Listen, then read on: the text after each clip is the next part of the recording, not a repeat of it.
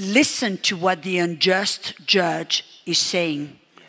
Lest she wearies me by her continual coming, I will give it to her.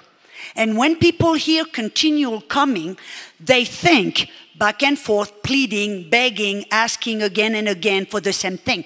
But when you study that, what it actually means is the compound word eis telos erchomai, which means to come, to be set until the end. And so, what Jesus was teaching, and then on verse 8, he says, When the Son of Man comes back on the earth, will he find that kind of faith? What kind of faith? A faith that believes, that be set until the end.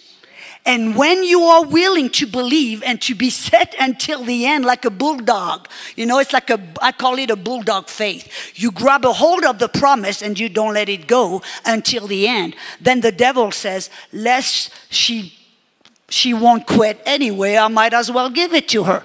You know, and that's what I was kind of adding to what Pastor Greg was saying. He said, if the devil knows that you are willing to stand until the end, he's just going to let go. That's true. I agree. Yeah. One of my daughter's new expressions is when the enemy's attacking, she just says, Move along, devil, move along. you know, Carly's taught on this this morning. It's like when we draw near to God, that's when we can, are able to resist the devil, right? And when we resist him, he flees. So that's powerful. Amen. He knows when we know, when we know that we know.